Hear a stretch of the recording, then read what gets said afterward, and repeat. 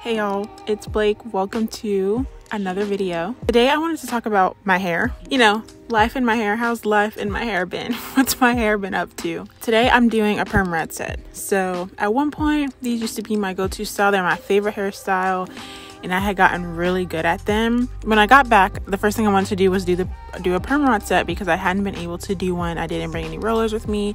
It would have been like too hot humid anyway, even though it's hotter here. But it made me think when was the last time that I had done a perm rod set and it, I looked back and it had been just past a year.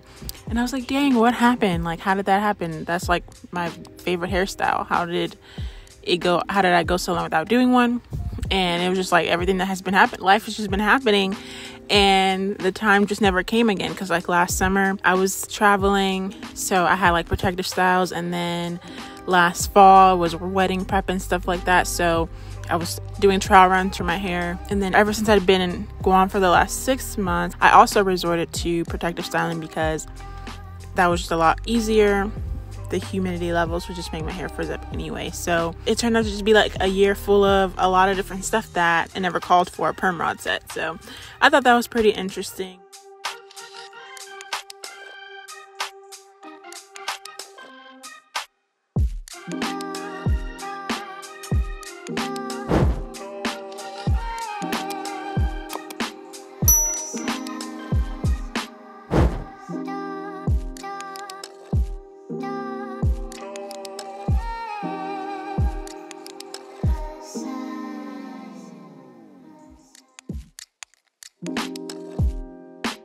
So the first thing that I thought of when I got back was I can finally like do all the hairstyles that I loved because I love stretched hairstyles and that was just completely out of the question over the last um, nearly year. I couldn't decide what I wanted to do for my first hairstyle back, um, but I thought a perm rod set was appropriate. And I went with the purple rods because those were always my favorite. But after doing this, I was like, I think I can upgrade to a size and not be like the perfect size because the purple ones like my hair i was having to really squeeze my hair on there and i think my hair is a little bit longer now so i could do the orange a little bit better but it still turned out great i just i don't have a lot of long purple ones so i was kind of struggling a little bit when i got to the front so i think moving up a size would be nice. I did feel a little bit rusty in doing my hair like this for some reason. I was like, I've been doing my hair, but I just felt completely like rusty um, doing it because it had been so long.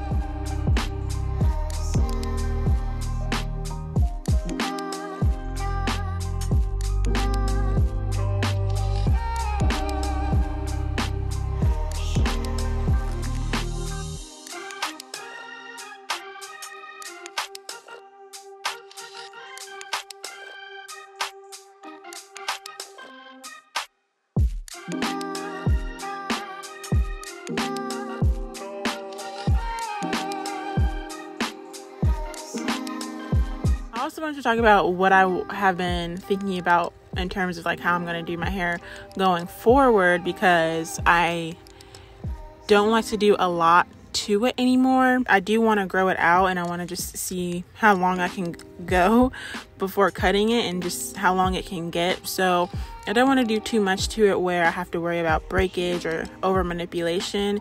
And then I also just don't like spending a lot of time on my hair. I guess it's not that I want I don't want to spend a lot of time on it, but I am not interested in trying new things and then they not turn out good. I I just want to have my like top hairstyles that work for me and I just do in rotation and I know they're gonna come out good. So perm sets is one of them. And since I've gotten back I have been experimenting with the hairstyles that I think I would do like in rotation.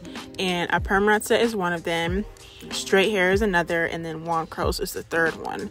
So this was my first trial of the perm it had been a while so i'm like oh my gosh i'm so rusty. But you know after a couple times I'll, I'll have it back. I already remember after i did this i was like oh yeah i needed to do this. I needed to do this. I need to do that. Like for instance for some reason i didn't want to twist my roots like i always do i know i've said that so many times in all of my other videos and i didn't want to twist twist them and i ended up doing this weird thing and twirling them so tight it kind of messed up the root the hairstyle a little bit. I didn't want to keep it in too long because I was afraid my hair was going to really tangle because it, the roots were so twisted in itself. So stuff like that, I was like, why didn't I just listen to my own advice? But those are the three hairstyles that I'm interested in rotating. So I've done the perm set, like I said. Uh, since this video, I've done the straight. So the next thing I'll do is the wand curls. And I think that might be the sweet spot actually is the wand curls. The straight hair, mind you, it's summertime. Today is the first day of the summer and it is so hot. I can't tell if it's just like gen- genuinely hotter or my body is not used to this heat anymore, which is so crazy because I used to love the heat and now I'm like, it's unbearable. Yeah, I also considered heat training, but I would still need those hair like different hairstyles to fall back on during the summertime because it's too hot. I've already sweated out the silk press that I did, or it's not even a silk press, it was just a flat iron that I did. So I will need other hairstyles anyway, but I have come to the conclusion that I will always blow dry my hair no matter what. I am at the very least a blow dry, uh, like a what do they call it? A stretch natural, maybe? I don't know.